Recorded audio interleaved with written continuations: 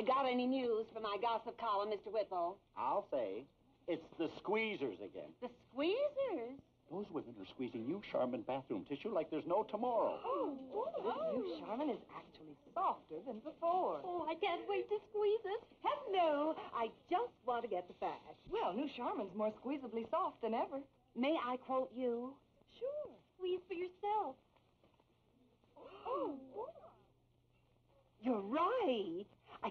I can't keep my hands off it. Ladies, this squeezing has got to stop.